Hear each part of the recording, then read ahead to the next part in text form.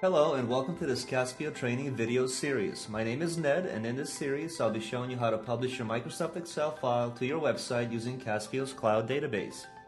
In part 1 of this video series, we learn how to create a new application by importing our Excel data to our account. In part 2, we will focus on how to create a search interface, visualize sales performance using charts, and set up permissions for different users. Now that we're back inside our account, if you recall, we had our table built from scratch for the administrator, and we had uploaded our two tables from our Excel file. Let's open up our table for admin, and notice that it's a blank table. Let's go ahead and list John as our admin with an email at test.com, and password can be test. Let's go back to table design. Let's make sure that the email is unique because you can only have one email per password. So if you go back to datasheet, if you have an additional admin, make sure that the email is different. Same thing for our sales employees. Let's make sure that if we open up the design mode, that this is checked to make sure that the email is unique. And now that we have our table set up correctly, let's go ahead and create authentications. And we're going to use authentications later when we password protect our data pages. I'll click on New. And we're going to select my admin table first. Let's use the Express option. And uh, we're going to use email and password as our login screen for our authentication, our credentials. Let's click on Create. And let's call this Admin Login. And here's my first authentication. Let's create a new one. This time for my employees. And again, you can use uh, custom for this one because we have additional fields in my table.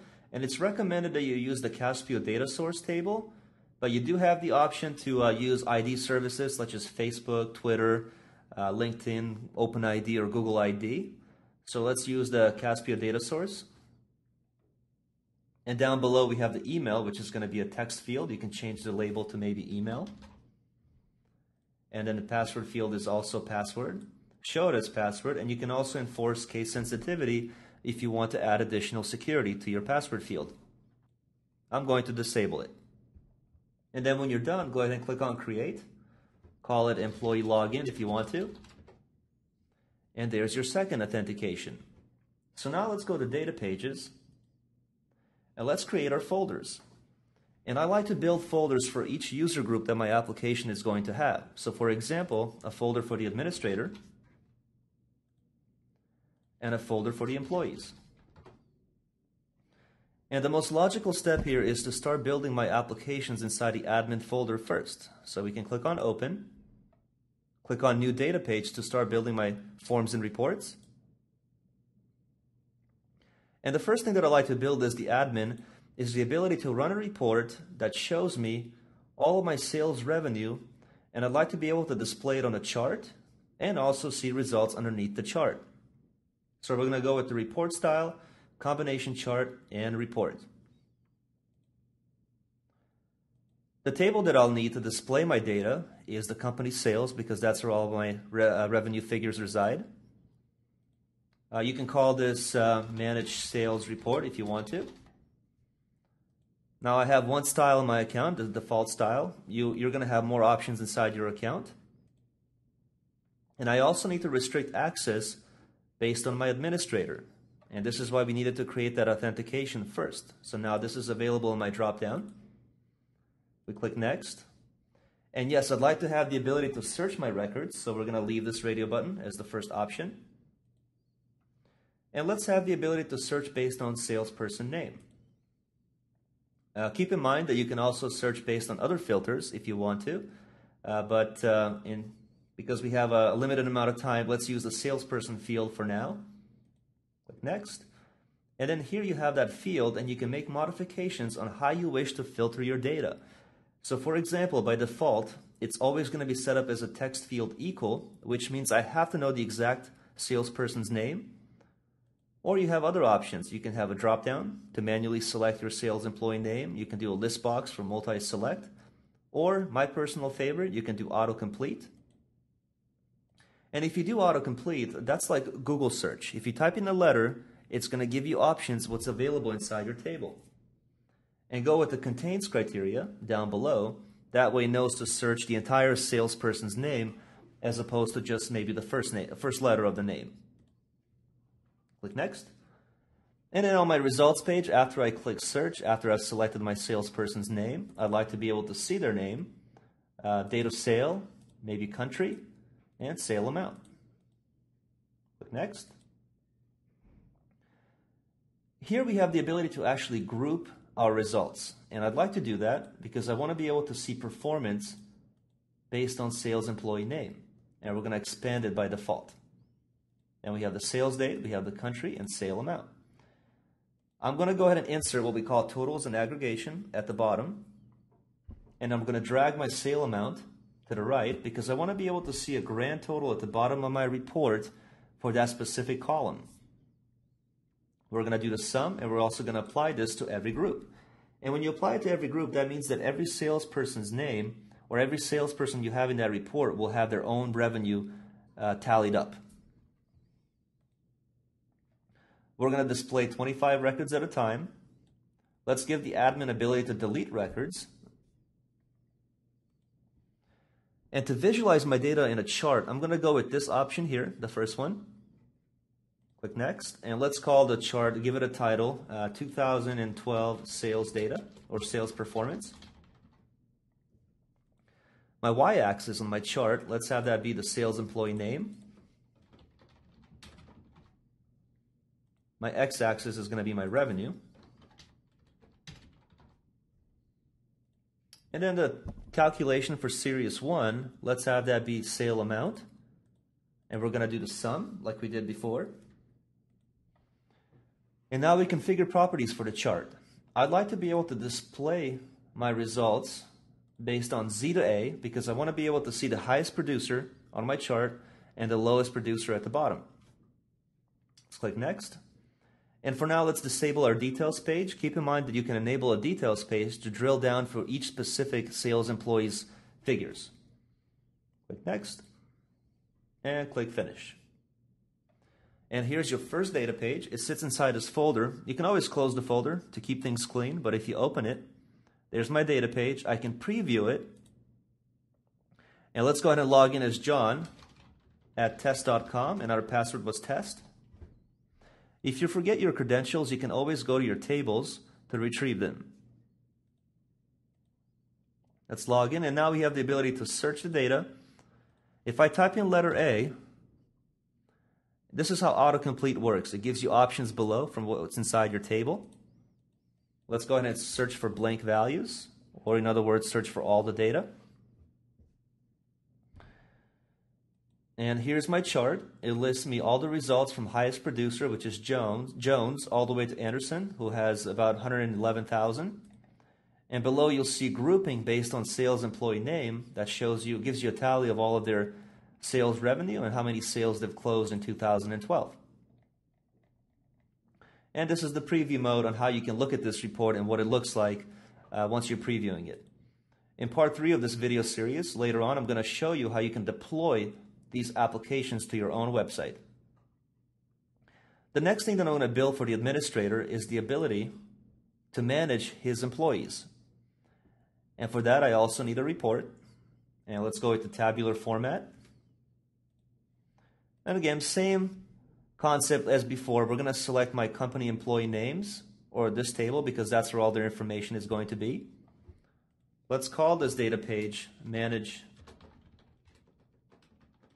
employees. And again, we need to restrict access just to the admin. Search field, let's search based on sales employee name. Same as before, we're going to keep the same setting.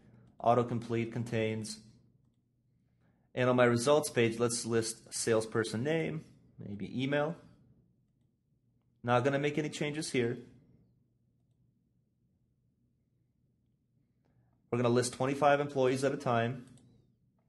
And then let's enable a details page. And in my details page, let's show everything. Click Next.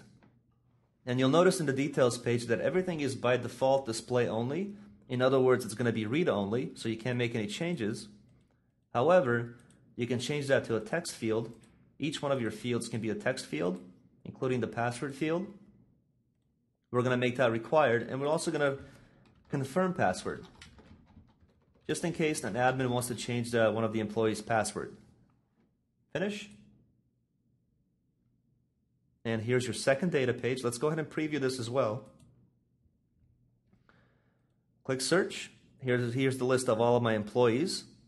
I can go to the details page, and now I have the ability to edit Anderson's information, including his password if I wanted to.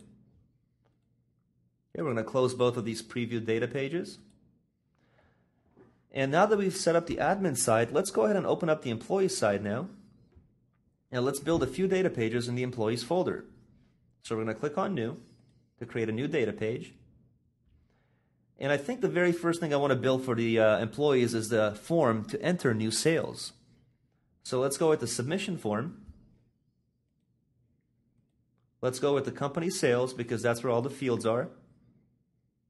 And let's call this data page enter new sale figure. And this time we need to restrict access based on the employee. Okay, click next. And I want to be able to see all of my fields on the form. And again, country, I'm going to make this a text field. You can make each one of your fields required on the submission form if you'd like. Salesperson, we don't actually need to have them type in the salesperson name. We already have this information from our tables.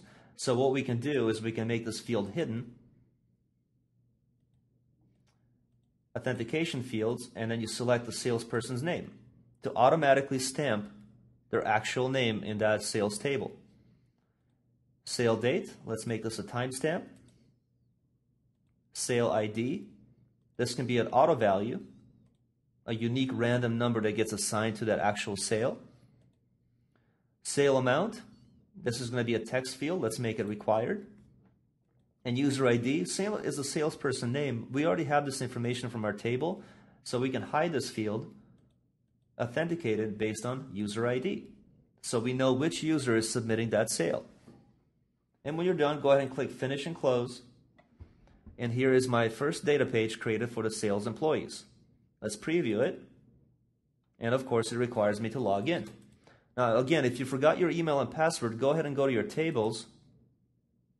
Open up the company employees table. And we have Anderson at com. Let's take a look at the full email. So at company.com, and password is Anderson. So let's log in as Anderson.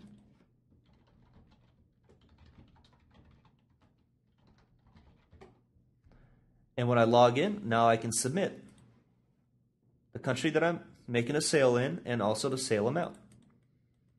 So let's make that submission. Let's go ahead and say the country was USA and the sale amount was uh, roughly about 10,000 in revenue.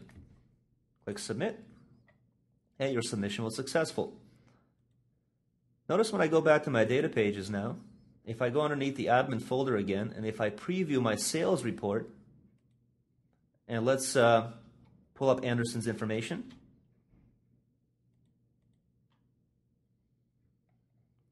Here's that new addition that belongs to Anderson. He made a sale today in 2013, and that's why you see that additional revenue.